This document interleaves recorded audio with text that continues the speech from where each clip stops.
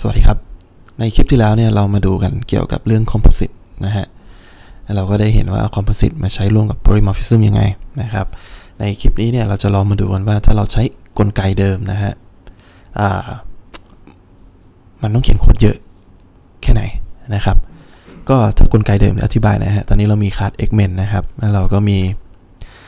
punch นะครับ punch ตัวนี้เป็นinterface อยู่ตรงนี้ นะครับแล้วเราก็มี method ฟังก์ชันนะครับ ที่เอาไว้เลือกว่าจะ punch หรือต่อยแบบไหนนะฮะ ก็มีต่อยทั้งแบบ laser punch นะครับ แล้วก็ต่อยทั้งแบบ heavy punch นะครับ มีต่อย 2 แบบก็ขึ้นอยู่ว่าจะเลือกหมายเลขอะไรในการต่อยนะครับ แล้วก็จะมี attack ตรงนี้นะครับ ซึ่งไอ้ฟังก์ชัน attack ตัวนี้เนี่ยก็สามารถที่จะใส่เบิร์ดลงไปได้นะครับ ว่าจะให้ attack ไปที่นกตัวไหนนะฮะ แล้วมันก็เหมือน composite ครับ ก็คือเรามีตัวนี้อยู่ นะครับ punch ตัวนี้นะครับ แล้วมันก็จะเป็น soft composite ใช่ไหมฮะ ที่เราแค่อ้างอิงเฉยๆนะฮะ ตรงนี้ก็จริงนี่ไม่ใช่ soft นะ นี่ hard เนาะ ก็เราเลือกมาเราก็ new นะครับ new ว่าเราจะต่อยแบบไหนนะครับ หลังจากนั้นเนี่ยเราก็ค่อยไปเลือกใช้ฟังก์ชันต่อยนะครับของไอตัว punch ตัวนี้นะครับ ซึ่งถ้าเราไปดูข้างในเนี่ยเราจะเห็นได้ว่ามันมีคลาส lazy punch นะครับ laser punch ตัวนี้นะครับ แล้วก็ heavy punch นะครับ ซึ่ง สืบทอดมาจาก interface punch นะครับ โดย interface punch เนี่ยมันก็มีนี่อยู่ฟังก์ชัน punch นะครับไอตรงนี้มันก็จะ override เป็นชั้นแบบต่างๆของมันนะครับ ซึ่งถ้าเราใช้ polymorphism เนี่ยเราก็จะประหยัดชื่อฟังก์ชันได้เยอะเลยใช่ไหมฮะ เราก็จะมีแค่ชื่อฟังก์ชัน punch อย่างเดียวนะครับ แล้วก็เนื่องจากว่าเราอยากจะใช้แค่ความสามารถ punch ตัวเนี้ยเท่านั้นนะครับ เราก็เลือกใช้เป็นแบบ composite เหมือนในคลิปที่แล้วนะครับ ก็มีแค่ punch dot punch ก็ใช้งานได้เลยนะฮะ ก็จะเห็นได้เลยว่า โค้ดมันค่อนข้างที่จะเขียนยาวนะฮะ ถ้าเรามีความสามารถอะไรใหม่ๆขึ้นมาตรงนี้เราก็ต้องมานั่งเขียนคาดเพิ่มเติมนะครับ เขียนคาดเพิ่มเติมคาดเพิ่มเติมไปเรื่อยแล้วก็ override ฟังก์ชัน punch ลองจินตนาการว่าถ้ามันมี punch สัก 20 แบบ เราต้องมี 20 คลาส ยาวลงไปเรื่อยๆ ตรงนี้นะฮะ มันก็เขียนเยอะนะ เขียนเยอะขึ้นพอสมควรนะฮะ ก็ต้องมาลองดูเอ๊ะทำไงมันถึงจะมีวิธีการลดลงกว่านั้นได้นะครับ ซึ่งจริงๆจุดประสงค์เราจริงๆอะเรา เราไม่ได้สนใจหรอกว่า มันจะเป็นคาร์ดอะไรเนี่ยนะฮะเราไม่ได้สนใจชื่อคาร์ดเลยว่ามันจะเป็นคาร์ดอะไร เราสนใจอย่างเดียวว่าเราอยากได้แค่ข้างในเนี่ยนะอยากได้แค่ตัวฟังก์ชันแค่นั้นเองนะครับ เราไม่ได้อยากได้ตัวแปรอะไรข้างใน class laser punch หรือ heavy punch เลย เราอยากได้แค่ไอตัวเนี้ยนะครับ มันมีกลไกใดไหมนะฮะที่มันจะบายพาสนะข้ามไปพวกนี้ไปหมดเลย แล้วก็เข้าถึงไอตัวนี้โดยตรงเลยนะครับ เราจะได้ไม่ต้องมานั่งพิมพ์คลาสอะไรยาวๆอย่างเงี้ยนะครับ กลไกนั้นนะมีชื่อว่า delegate นะครับ delegate เดี๋ยวมาดูหน้าตากันว่ามันเป็นยังไงนะครับอะก็จะสังเกตเห็นเลยว่าพอเราใช้ delegate ตัวนี้นะครับไอ้คลาสต่างๆที่เราเปิดเยอะแยะตรงเนี้ยบริเวณตรงนี้เนี่ยมันเหลือแค่นี้ครับ กลายเป็นฟังก์ชัน เราบายพาสคลาสหมดเลยนะแต่ยังมีกลไก polymorphism อยู่ เพราะเรา reuse คำว่า punch นะครับ reuse คำว่าฟังก์ชัน punch อย่างเดียวอยู่คล้ายๆกันกับตัวนี้เลยนะครับ ยัง reuse ชื่อตรงนี้อยู่ นะฮะ ไม่จำเป็นต้องมีคำว่าฟังก์ชัน laser heavy punch อะไรอยู่ตรงนี้ไม่ต้องมีนะครับ เรา reuse ชื่อตรงนี้อยู่ยังเป็นกลไกคล้ายๆ polymorphism อยู่นะครับ โอเค เดี๋ยวมาดูกันว่ามันทำงานยังไงนะฮะ อันดับแรกเนี่ยเราประกาศ delegate ก่อนนะครับ ประกาศ delegate แบบนี้นะครับ แล้วก็ประกาศ void punch นะครับ void punch ตัวนี้ก็เป็นชื่อฟังก์ชันปกติของเรานะครับแต่การที่มี delegate นำหน้าเนี่ย เรากำลังจะบอกว่าไอ้ฟังก์ชันตัวเนี้ยมันเป็นตัวแปรได้นะ อ่ามันเป็นตัวแปรได้ความหมายของเขาว่าเป็นตัวแปรได้คือเราสามารถที่จะเอาค่าอะไรไปใส่ให้มันก็ได้นะเอาค่าฟังก์ชันอะไรไปใส่ให้มันก็ได้นะครับเหมือนกับว่ามันเป็นตัวแปรจริงๆ เช่น in i เงี้ยเราก็เอาตัวเลขอะไรไปใส่ให้ i ก็ได้ใช่ไหมฮะ ฟังก์ชันก็เป็นตัวแปรได้ เออ เราเอาฟังก์ชันอะไรไปใส่ให้มันก็ได้นะครับ แต่การที่จะทำให้ฟังก์ชันเป็นตัวแปรได้นะฮะ เราต้องประกาศบอกไว้กันว่าฟังก์ชันตัวเนี้ยเดี๋ยวมันจะกลายเป็นตัวแปรนะนะ หรือจินตนาการว่าไอเนี้ยมันจะเป็นคลาสอะแต่เขียนเป็นคลาสรูปแบบย่อ นะครับเขาเขียนแปลว่า delegate void punch อย่างนี้นะครับ แล้วก็เราก็จะเอาไว้ชื่อตรงนี้ครับ ชื่อฟังก์ชันเราเนี่ย มาประกาศอย่างนี้ได้เลย คล้ายๆว่ามันเหมือนเป็นคลาสเลยครับ พูดง่ายๆก็คือ delegate ถ้าแปลง่ายๆนะฮะ มันก็คือการเอาฟังก์ชันอะ bypass เอาฟังก์ชันมาเป็นคลาสนะ โดยที่เราไม่จำเป็นต้องไปนั่งประกาศยาวๆแบบเนี้ยนะครับ เราต้องมา punch dot punch เพื่อจะเอาของข้างใน เราแค่ให้ตัวเนี้ยตัวหนึ่งอะเป็นคลาสได้เลยนะครับ โดยการประกาศอย่างนี้นะฮะประกาศ delegate แบบนี้ แล้วเราก็จะเอาชื่อฟังก์ชันตัวนี้ครับมาเหมือนเป็นคลาสเลยนะฮะประกาศอย่างนี้แล้วก็ punch อย่างนี้ได้เลยนะครับ แล้วความสามารถที่น่าสนใจของมันคือตรงนี้ครับ นี่เลย punch เท่ากับทั้งที่มันเป็นฟังก์ชันนะ แต่ฟังก์ชันก็เหมือนกับแปลงเป็นตัวแปรเอาให้ค่าได้ เหมือนเป็นคลาสเลยนะเป็นอ็อบเจกต์นะครับ ใส่เข้าไปให้นะครับ มันเราก็สามารถเอา lazy punch ใส่เข้าไปนะครับเอา heavy punch ใส่เข้าไป แล้วถามว่า laser punch กับ heavy punch นี่คือ เป็นคลาสไหมก็ไม่ได้เป็นนะ เป็นฟังก์ชันอยู่ในนี้เห็นไหมฮะนี่ครับเป็นฟังก์ชันอยู่ในนี้ ทั้ง 2 ตัวเลยนะครับ เราก็สามารถที่จะเอาฟังก์ชันเนี่ยมาเก็บไว้ในตัวแปร punch ตัวนี้ได้นะครับ แต่มีข้อแม้นิดนึงไอ้ฟังก์ชันที่จะสามารถโยนเข้ามาเก็บตรงนี้ได้เนี่ยมันต้องมีโครงสร้างเหมือนกันนะครับ โครงสร้างในที่นี้ก็คือข้างหน้าเป็น void นะผลลัพธ์ของมันเป็น void นะครับไม่ return ค่าอะไรกลับมานะครับแล้วก็พารามิเตอร์ข้างในตรงนี้รับค่าอะไรเข้ามาได้บ้าง input ที่จะรับเข้ามานะครับสังเกตว่าทั้ง laser punch และ heavy punch เนี่ยมันรับเป็นเบิร์นเหมือนกันออกมานะครับมันเลยสามารถที่จะเอาค่าชื่อฟังก์ชันมันเนี่ยนะครับเอาไปใส่ให้กับ punch ได้ เอาค่าตัวมันไปให้กับ punch ได้นะครับ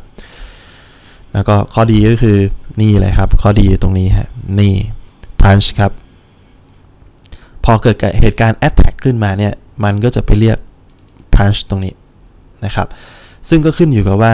ในฟังก์ชัน select punch ตรงนี้ของเราเนี่ย เราเลือกเป็น punch แบบไหนมา นะครับ ถ้าเราเลือกเป็น laser punch ตรงนี้มันจะรู้ทันทีว่าการทำงานมันก็คือ laser punch นั่นเอง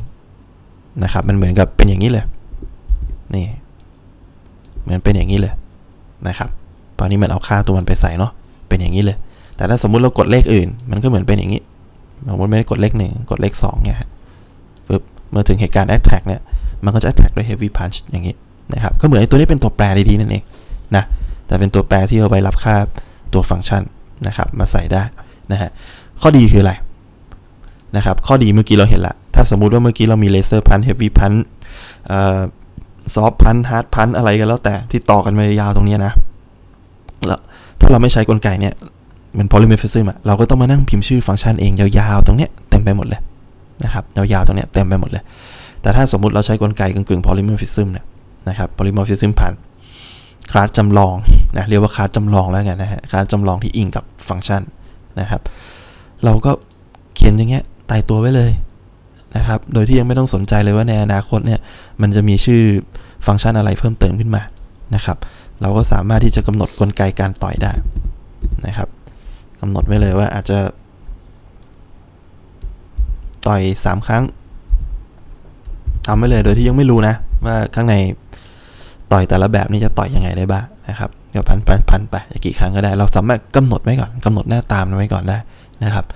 แล้วก็ไอตอนที่จะไปเลือกว่าจะให้มันต่อยแบบไหน เราก็ไปเลือกอีกส่วนหนึ่งนะอีกส่วนหนึ่งนะครับ เพราะในอนาคตตรงนี้เนี่ยเราก็มีหน้าที่แค่ไปเพิ่มกลไกว่ามันจะมีการต่อยแบบพิเศษเพิ่มขึ้นกี่แบบ ก็ if else if else ลงไปนะครับ แล้วก็ไปเพิ่มฟังก์ชันการต่อยแต่ละแบบเข้าไป โดยที่กลไกการต่อย กลไกการต่อสู้ attack เนี่ย มันจะเหมือนเดิมนะฮะ การทำแบบนี้ก็จะคล้ายกับ polymorphism เลยนะครับ ก็คือเรากำหนดกลไกไว้ก่อนนะว่ามันจะทำอะไรกำหนดลำดับขั้นตอนการทำงานไว้ก่อนว่ามันจะทำอะไรบ้าง ส่วนไอ้รายละเอียดที่มันอยู่ในแต่ละขั้นตอนการทำงานเนี่ย ก็ค่อยไปเพิ่มเติมรายละเอียดภายหลังได้นะครับ พอมันแยกออกมาแต่ละส่วนแต่ละส่วนละนะครับ ทำแบบนี้ได้ก็คือต้องใช้ polymorphism นะชื่อเดียวจะเปลี่ยนเป็นอะไรก็ได้ ข้างในรายละเอียดจะเป็นชื่ออะไรจะเป็น laser punch heavy punch แล้วแต่นะครับ ลักษณะนี้อะนี่คือข้อดีของ delegate นะครับ มันสามารถที่จะเปลี่ยนฟังก์ชันเฉยให้เป็น class ได้นะมหัศจรรย์อย่างนี้เลยนะครับ แล้วก็ที่สำคัญข้อดีของ delegate อีกอย่างนะ เนื่องจากว่าปกติ in i เนี่ยมันมีกลไกหนึ่งไงกลไกที่ชื่อว่าเครื่องหมายบวกเท่ากับนะครับ อันนี้ไม่ได้พูดไปนะแต่ตอนต้นๆนะครับ แต่ว่าก็สามารถที่จะไปศึกษาข้อมูลดูเองได้นะฮะ อันนี้ยกตัวอย่างให้เร็วๆแล้วกัน in i อย่างเงี้ย บวกเท่ากับ 1 ก็หมายความว่าเพิ่มค่า i อีก1นะ เพิ่มค่า i อีกถ้าสมมติใส่เป็นเลข2ก็เพิ่มค่า i อีก2นะครับ ถ้า i มีเป็นเลข 0 อยู่ เจอไอ้นี่เข้าไปก็กลายเป็น2นะครับแล้วถ้าบวกเท่ากับไปเรื่อยๆมันก็เพิ่มทีละเท่าไหร่ทีละเท่าไหร่นะครับ ซึ่งไอ้กลไกบวกเท่ากับ หรือแม้แต่ตัวนี้ลบเท่ากับ อันนี้ก็ลดทีละ2นะครับ มันสามารถจะใช้กลไกนั้นนะ่ะเนื่องจากไอ้พันช์นี้มันก็เหมือนเป็นตัวแปรเนาะใช้ได้อย่างนี้ได้ด้วย นี่ใช้อย่างนี้ได้ด้วยนะครับ หมายความว่าไง หมายความว่า punch ตัวนี้เนี่ย เราสามารถที่จะเก็บค่าการต่อยได้หลายแบบได้นะครับ แล้วมันก็จะไปเรียกเอง แทนที่จะต้องมานั่งพิมพ์พันพันสามอันนี้ใช่ไหมฮะ สามารถทำอย่างนี้ได้ปึ๊บ บวกเท่ากับบวกเท่ากับ นั่นก็หมายความว่าในพันช์ตัวนี้เนี่ยมันเก็บทั้ง laser punch และก็ heavy punch เมื่อไหร่ก็ตามที่เกิดเหตุการณ์ต่อสู้ แล้วมันไปเรียก punch ตัวเนี้ยมันก็จะไปเรียกทั้ง 2 ตัวนี้ทำงานโดยอัตโนมัติ ก็เป็นการต่อยแบบเลเซอร์แล้วก็ต่อยแบบ heavy นะครับ หรือถ้าเราใช้กลไกอย่างนี้ ลบเท่ากับ ลบเท่ากับ มันก็จะไปดูว่าไอ laser punch มันมีอยู่ในนี้ไหม ถ้ามีก็เอาออกนะ heavy punch มีไหมก็มีเอาออก เพราะฉะนั้นพอกด punch ตัวนี้ก็อาจจะไม่ทำอะไรเลยถ้าเจออย่างนี้นะครับ เพราะฉะนั้นมันก็เลยค่อนข้างที่จะเทมากนะฮะ มีวิธีกลไกการเพิ่มกลไกการลดตัวฟังก์ชันด้วยนะฮะ ซึ่งไอ้ตรงเนี้ยเป็นจุดที่เท่กว่า polymorphism แบบปกตินะครับ นี่อันนี้คือ polymorphism แบบปกติ ซึ่งเราใส่บวกเท่ากับไม่ได้ เราใส่ลบเท่ากับไม่ได้นะ เราจะเป็นต้องสร้างเนี่ยฟังก์ชันพันขึ้นมาเองตรงเนี้ยเป็น add punch อะไรก็แล้วแต่ที่ต้องไปนั่งสร้างเพิ่มเอาเอง นะครับ ก็ต้องเขียนยาวขึ้นอีกทำได้นะ แต่ต้องเขียนยาวขึ้นนะครับ แต่อันนี้กลไกมันทำมาเพื่อลดวิธีการเขียน polymorphism โดยเฉพาะอยู่แล้วนะก็เลยเขียนสั้นลงพอสมควรนะครับ ลักษณะนี้นะ โอเค ปัญหาอย่างหนึ่งก็คือในส่วนต่อมานะครับ ปัญหาอย่างหนึ่งก็คือเราจะเห็นภาพแล้วว่าไอ้ punch ตัวนี้เนี่ยอะเดี๋ยวพามาดูล่าง punch ตัวนี้เนี่ย มันเป็นตัวแปรตัวหนึ่งนะครับ แล้วตัวแปรเนี่ยเราไม่ควรอย่างยิ่งที่จะประกาศมันเป็น Public อย่างที่เราเคยคุยกันไปก่อนแล้วนะ มันควรที่จะเป็น private แต่หลาย ๆ ครั้งเราก็อยากให้ไอตัว delegate ตัวนี้มันเป็น public เพราะเรามองว่าไอ้ punch ตัวนี้มันอาจจะโดนให้ค่าจากภายนอกคลาสนะครับ ยกตัวอย่างเช่นตอนนี้เรามีคลาส x-men กับคลาส x-boy นะฮะมีคลาส x-men กับคลาส x-boy x-boy เนี่ยจินตนาการว่า x-men มันเป็นยานแม่แล้วกันนะฮะและ x-boy เนี่ยมันเป็นยานลูกข้างๆเหมือนเล่นเกมยานอะมียานลูกข้างๆ 2 ด้านซ้ายขวา ถ้าสมมติยานแม่ x-men เนี่ยมันโจมตีใช่ไหมไอยาน x-boy ข้างๆ 2 อันมันก็จะยิงพร้อมๆกับยานแม่นะครับเพราะฉะนั้นเนี่ยคนที่มันคอยสั่งให้ x-boy เป็นคนยิงเนี่ยมันก็คือใครยานหลักยานแม่หลักก็คือตัว x-men นั่นเองนะครับอ่าเราก็เลยต้องสร้างกลไกว่า เอ๊อย่างนี้ ไอ x-boy เนี่ยโอเคมันอาจจะมีฟังก์ชันของมันมินิพันช์ตัวเนี้ยแต่ไอคนสั่งให้มันใช้มินิพันช์ต่อยมินิมินิของมันเนี่ยก็คือไอตัวเนี้ยนะครับเราก็เลยบอกว่าเอ๊อย่างนั้นมันก็ควรที่จะให้ไอมินิพันช์เนี่ยนะมันเข้ามาโดนเก็บในพันช์ตัวนี้ด้วยนะครับเพื่อที่ถ้าเกิดการ attack ขึ้นมาเนี่ยมันก็จะได้เรียกทั้ง punch ที่เป็นของเราเองนะครับแล้วก็เป็นทั้งของตัวมินิพันช์ที่เป็นของ X boy ไปด้วยนะครับ มันก็เลยเกิดกลไกที่ว่าตายละถ้าเป็นไอ้ข้างบนนี่ไอ้ข้างบนเนี่ยเราไม่ได้พิมพ์คำว่า public นะครับ ถ้าไม่ได้พิมพ์คำว่า public เนี่ย มันเป็น private อัตโนมัติ อันนี้ถูกต้อง คนข้างนอกเข้าถึงไม่ได้นะครับ แต่พอเป็นนกลไกตัวเนี้ยเราอยากจะให้คนข้างนอกมันเข้าถึงได้ คนข้างนอกคาดคาดอื่นเข้าถึงได้ เราต้องประกาศเป็น Public ซึ่งมันผิดกฎเราล้วนะครับ แต่ข้อดีมันมีนะ ข้อดีมันก็สามารถทำอย่างนี้ได้เลย ดูนะครับ ใน Xboy นะ นะ constructor Xboy ก็รับ Xmen เข้ามานะครับ แล้วก็ทำอย่างนี้ได้เลย m punch เนี่ยบวกเท่ากับ mini punch อย่าเพิ่งไปสนใจด้านหลังนะ ตรงนี้สนใจด้านหน้าก่อน ตรงนี้บวกเท่ากับได้เลยนะครับ เพราะฉะนั้นสิ่งที่เกิดขึ้นก็คือเมื่อไหร่ก็ตามที่มันไปเรียกเกิดเหตุการณ์ attack ต่อสู้ขึ้นนะครับ มันก็จะมาเรียกไอตัว mini punch ด้วยนะครับ Xboy มันก็จะทำงานไปด้วยโดยอัตโนมัตินะ Xboy ทำงานไปด้วย นะครับเเห็นกลไกไม่ชัดนัก เดี๋ยวมีฟังก์ชันรันควบคู่ไปด้วยแล้วกัน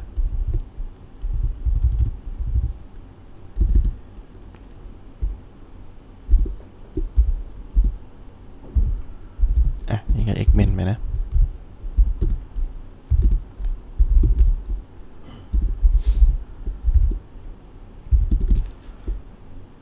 ก็มี Xboy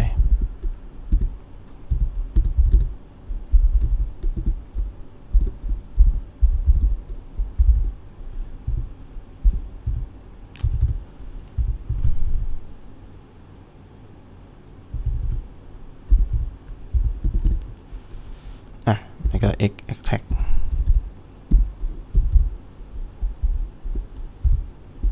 โอเค นะค รับเพราะฉะนั้นตอนใช้งานมันก็จะเป็นประมาณเนี้ยนะเราก็จะกลายว่า x attack ตัวเนี้ยอ๋อเดี๋ยวเอาให้ครบถ้วนเนาะในครบถ้วนจริงๆมันต้องมี x dot select punch นะอืมแล้วก็เอาวิธีการปล่อยสกิลต่อยแบบที่หนึ่งแล้วกันนะครับ โอเค เราก็จะเห็นอย่างนี้นะครับ มันก็นิว2ตัวนี้ขึ้นมาก่อนนะครับ แล้วเราก็เลือกวิธีการต่อยแบบที่ 1 ก็คือ laser punch นะครับ แล้วก็เนื่องจากว่าตอนที่เรา new x boy ขึ้นมาเนี่ย constructor มันบอกว่าให้ใส่ mini punch ไปในตัว punch ของเราโดยอัตโนมัติอยู่แล้วนะครับ เพราะฉะนั้นถ้าเมื่อไหร่ก็ตามที่กด attack ตัวเนี้ย มันก็ punch punch ทั้ง laser punch แล้วก็ punch ทั้ง mini punch โดยอัตโนมัติทันทีนะครับ อะกลไกมันเป็นงี้ นะครับอ๋อมีมีส่วนหนึ่งนะลืมอธิบายเห็นอะไรแปลกๆตรงนี้ไหมฮะกลไกนะครับ อันนี้เป็นวิธีการหนึ่งที่จะลดไปลดวิธีการเขียน if else แบบอย่างนี้ได้นะฮะที่ต้องมานั่งเขียน if else ยาวๆอย่างเงี้ยนะครับ สามารถเขียนให้มันเหลือบรรทัดเดียวได้นะครับ โดยย้ายเพราะสุดท้ายมันต้องเอาค่าเลเซอร์พันหรือไม่เฮฟวี่พันมาให้พันชนี้ใช่ไหมฮะนะครับไอตัวเงื่อนไขมันก็เลยอยู่แค่ตรงนี้เราก็เลยแยกส่วนที่ซ้ำออกมา ส่วนที่ซ้ำมาอยู่นี่อ่าเงื่อนไขอยู่ตรงนี้ ไม่ต้องใส่ if อะไรนะเงื่อนไขอยู่ตรงนี้นะครับ แล้วก็มีเครื่องหมายอะไรเอ่ยขึ้นมาคำเป็นคำถามนะถ้าเงื่อนไขนี้ถูกต้องก็เลือกอันแรก ถ้าไม่ตรงกับเงื่อนไขนี้ก็เลือกอันที่2นะก็จะเป็นอย่างนี้ เพราะฉะนั้นสมมุติว่าเงื่อนไขเป็นหมายเลขหนึ่งนะตรง พอมันแปลงคำนี้ออกมาแล้วก็จะเป็นอย่างนี้อ่านะครับ แต่ถ้าสมมุติว่าเงื่อนไขเนี่ยไม่ได้ตรงกับเลขหนึ่งพอมันแปลงมาแล้วมันก็จะเป็นอย่างนี้โอเคไหมนะ อันนี้ก็วิธีการให้เราเขียนสั้นลงนะครับ สั้นลงนะครับ มันก็สั้นลงน่าสนใจนะโอเค เพราะฉะนั้นเข้าปัญหาละ เราเห็นกลไกเออก็ดีนะ ก็สามารถทำให้ไอ้พันช์ตัวนี้พอเป็นพับลิกแล้วก็คนภายนอกก็สามารถที่จะเรียกว่าลงทะเบียนแล้วกัน เอาลงทะเบียนฟังก์ชันตัวเองมาอยู่ในการ attack ได้ด้วยนะไอตัวแม่มัน attack ไอลูกๆก็ได้ attack ตามไปด้วยเออมันดีนะแต่ข้อเสียครับ พอมันเป็น Public ตัวนี้แล้วมันเป็นตัวแปรเนี่ยมันก็เลยสามารถจะโดนเซตจากภายนอกได้ ให้เซตเป็นค่าอะไรก็ได้นะครับ ก็พร้อมที่จะเกิด error ได้เต็มไปหมดเลย โดยที่ไม่รู้ว่ามัน error จากส่วนไหน เช่นอยู่ดีๆเนี่ย มันเป็นตัวแปรใช่ไหมเราก็ใส่เป็นเนาเงี้ยเนาคือศูนย์นะครับ กลายเป็นว่ารีเซ็ตหมดเลย ค่า punch ที่เราอุตส่าห์บวกเท่ากับเก็บเก็บกันไว้ หายหมด ซึ่งไอคนที่จะสั่งให้มันหายหมดเคลียร์หมดได้มันควรเป็น X Men เพราะมันเป็นเจ้าของ ไม่ใช่ไอ X Boy ที่มันเป็นตัวคาร์ดข้างนอก ที่อยู่ดีๆไปกำหนดให้มันหายหมดนะครับ หรือบางคนเนี่ยไปใส่เงี้ยเลขห้าเลขหกเนี่ยอันนี้ error แน่นอนอย่างเงี้ยครับ ซึ่งเนี่ยแหละเป็นข้ออันตรายนะ เราใส่เงื่อนไขอะไรเพิ่มเติมไม่ได้เลยนะถ้าเราเปิดผมฟังไอตัวแปรของเราเนี่ยเป็น public ข้างนอกนะคนอื่นเข้าไปแก้อะไรได้เต็มที่นะทั้งที่มันเป็นของเราเองมันเป็นสมบัติเราเองนะครับ เพราะฉะนั้นมันจะมีหนทางอะไรไหมที่สามารถจะคงกลไก public อย่างนี้ได้ แล้วก็จำกัดนะจำกัดการเข้าทำลักษณะนี้ได้ ไม่ให้มันสามารถที่จะมาเข้าทำแบบรีเซ็ต list ของเราทั้งหมดอย่างเงี้ยนะให้แค่ทำได้แค่บวกเท่ากับหรือลบเท่ากับนะแค่ 2 อย่างเนี้ยพอมีไหมอย่าไปไปรีเซ็ตอย่างเงี้ยไม่เอานะครับโอเค มันมีกลไกนั้นนะครับกลไกนั้นมีชื่อว่า event นะครับกลไกนั้นมีชื่อว่า event นะครับ event หน้าตาเป็นงี้ นี่นะครับ ก็ตอนที่เราดีลิเกตนี้ขึ้นมาเนาะนี่ของเดิมมันจะเป็นงี้ของเดิมอย่างงี้นะครับ เราจะใส่คำว่า event ลงไปด้วยนะครับเนี่ยนะ event ลงไปด้วยลักษณะนี้พอเราใส่ event ลงไปด้วยแบบนี้เนี่ยข้อดีก็คือ event เนี่ยมันจะไปครอบตัว punch ตัวนี้ไว้ทำให้มันสามารถทำงานได้เพียงแค่ 2 อย่างนะครับ ก็คือแค่บวกเท่ากับหรือลบเท่ากับ หรือไม่ก็เท่ากับเฉยๆนะมันมันมันจะทำได้แค่นี้ นะจะไปรีเซ็ต list อะไรไม่ได้เลยนะฮะหลักๆก็บวกเท่ากับลบเท่ากับทำได้แค่นั้นนะครับ เพราะฉะนั้นพอผลงานออกมาก็เขียนตรงนี้เขียนเหมือนเดิมเลยเขียนเหมือนเดิมทุกอย่างไม่มีอะไรเปลี่ยนแปลงแต่การกำหนดอีเวนต์เนี่ยมันช่วยทำให้แค่ว่าเนี่ยมีกลไกแค่นี้บวกเท่ากับกับกลไกลบเท่ากับ มีให้แค่นี้นะไม่ได้มีอะไรมากกว่านี้นะครับ ก็เรียกว่าเป็น layer ครอบลงไป ให้ให้เราสามารถจะควบคุมได้อีกระดับหนึ่งนะครับ ก็โดยปกติพวกนี้เรามักจะไปเห็นกับเหตุการณ์ประเภทตั้งชื่ออย่างนี้แล้วกันเนาะ on punch อืม มันจะเป็นเหตุการณ์ไงเพราะปกติเราไม่ค่อยตั้งชื่อคลาสให้มันเป็นยังไงกริยาใช่ไหมฮะ อันนี้ก็เป็นตั้งเป็นเหตุการณ์ไป on punch นะครับ เนี่ย มันก็จะเป็นอย่างนี้ on punch อือ on punch ลักษณะนี้นะครับ ก็จะกลายให้รู้ว่ามันเป็นเหตุการณ์กำลังโดนต่อยนะเหตุการณ์โดนต่อยถ้าโดนต่อยบวกนี้เข้าไปด้วยให้ต่อยอันนี้ด้วยนะครับ ลักษณะนี้นะหรือเปลี่ยนใจแล้วไม่เอาไม่เอาท่าต่อยนี้ก็ได้นะครับอะเนี่ยเพราะเริ่มเริ่มคุณเนาะถ้าถ้าเริ่มไปอ่านโค้ดจะเจอลักษณะเนี่ยนะครับอีเวนต์เหตุการณ์เราสร้างเหตุการณ์ของเราขึ้นมาได้นะครับแล้วก็เพิ่มเข้าไปเลยว่าถ้าเหตุการณ์เกิดอย่างเงี้ยอยากจะให้ทำฟังก์ชันอะไรเพิ่ม นะใส่เพิ่มเข้าไปได้นะครับอะนี่คือข้อดีของอีเวนต์นะครับ แล้วก็ปกติโดยทั่วไปเรามักจะเจออีก keyword หนึ่งนะเพิ่มเติมขึ้นมาก็คือ ถ้าเราเห็นตรงเนี้ยเราจะเห็นได้เลยว่าสิ่งที่เราอยากได้จริงๆเราอยากได้แค่เหตุการณ์เนี่ยเนี่ยนะเราอยากได้แค่เหตุการณ์ แต่ถ้าเราอยากได้แค่เหตุการณ์เราต้องมา new x men ขึ้นมาเนี่ยเราต้องมา new x men ขึ้นมา เพื่อจะโยนค่า x men ใส่เข้าไปตรงนี้ นะครับ ซึ่งเราไม่ต้องการขนาดนั้นนะเราเราอยากได้แค่ไอเนี้ยนะเราเราไม่ได้อยากได้ object x เพื่อจะมาส่งเข้าไป เราต้องการ bypass มันนะครับ เราสามารถจะใส่คีย์เวิร์ดตรงนี้ลงไปได้ static นะครับ static กลไก static ตรงนี้เนี่ย ถ้าเราได้ยินคำว่า static นี้เมื่อไหร่ให้รู้เลยว่าตัวนี้มันเกิดขึ้นมาพร้อมๆกับตัวโปรแกรมนะครับ มันจะหายไปก็ต่อเมื่อโปรแกรมปิดนะครับ โปรแกรมปิดนะไม่ได้มา มันจะเกิดถ้าเราไม่มีตัวแปรตัวเนี้ยไออีเวนต์ตัวเนี้ยมันจะเริ่มมีชีวิตขึ้นมาใช้งานได้ตอนที่ x m e n โดนนิวตอนที่มันมีอ็อบเจกต์ขึ้นมานะแต่ถ้าเรามีกลไกตัวเนี้ยใส่ static เข้าไปอย่างเงี้ยสิ่งที่เกิดขึ้นก็คือ ไม่ต้องนิวมันมีชีวิตเลยตั้งแต่ตอนที่เปิดโปรแกรมนะครับไม่ต้องไปรันโค้ดถึงบรรทัดที่นิวค่อยมีชีวิตไม่ต้อง มันมีชีวิตตั้งแต่ตอนที่เปิดโปรแกรมเลย นะครับ เพราะฉะนั้นพอมีชีวิตตั้งแต่ตอนเปิดโปรแกรมเนี่ยเราก็เลยเรียกเวลาเรียกใช้งานมันก็เลยเป็นประมาณนี้ครับ ข้อดีคือเราตัดไอ้นี้ออกไปได้เลย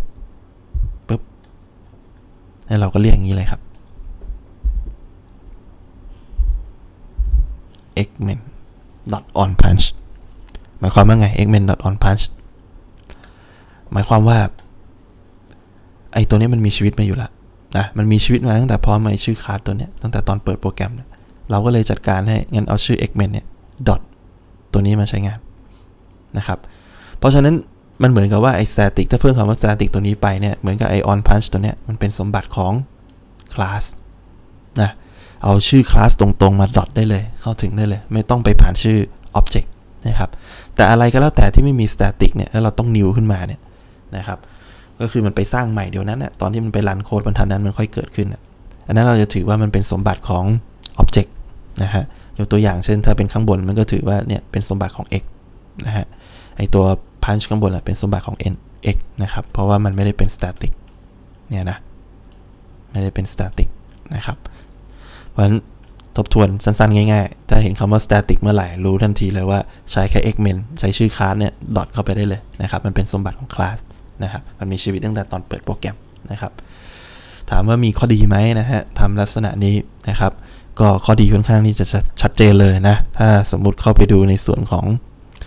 ติวตัวเรียลของตัวเจ้า Unity นะครับ มันจะมีตัวที่เป็นตัวแม่หลัก Event Manager อย่างเงี้ย เอาไว้ควบคุมเหตุการณ์ต่างๆนะครับ คอยสั่งต่างๆนะ เราเราสนใจแค่ชื่อ class event แค่นั้นเอง ไม่ได้สนใจว่าต้องไปนั่ง new object event ขึ้นมา มัน event manager มันมีตัวเดียวอยู่ละคลาสเดียวอยู่ละนะครับ มันไม่ต้องไปมีอะไรอื่นปลีกย่อยนะครับ ก็นั่นแหละคือข้อดีนะครับ bypass ตัว object ไปนะครับโอเค เดี๋ยวมีตัวอย่างให้ดูมา